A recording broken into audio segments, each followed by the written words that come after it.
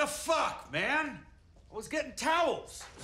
Here. Shit, lift your leg up. Easy, Come on. easy. Hey, this was a very nice couch, you pricks. He needs water. He needs a little more than water. No puedo ser deportado. He says he cannot get deported. I think he's got a few more problems to deal with right now. Estoy bien. He says he's fine. Yeah, the fuck it's fine. Shit. How fast can you get this car ready? Fast as fucking possible. And who could patch him up?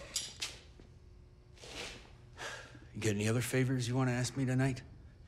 Por favor. I might know a guy who might be down. If he's not drunk in an Indian Casino.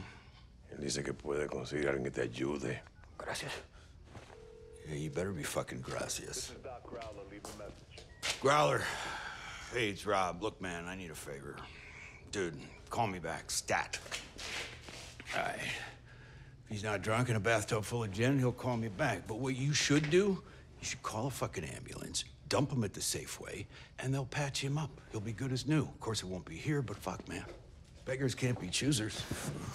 No voy a dejar que me regresen. Oye, no tienes tienes que avergonzarte por eso. No es que no entiendes. Mi familia vive con otras tres familias. Y si me regresan, se van a quedar en esa puta choza. He says that his family lives in a small house with three other families.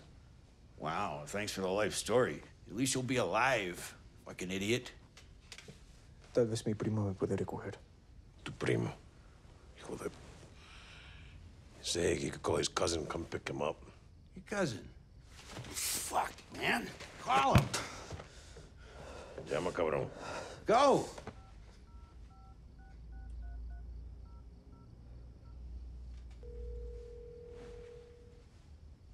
Hey, Christina, I can't get to the phone right now. He doesn't know the fucking number. Estoy tratando de acordarme.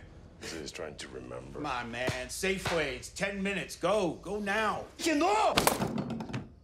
Motherfucker. It's a fucking iPhone. If this guy wasn't here, I would fucking kill Rob. Outside. Now.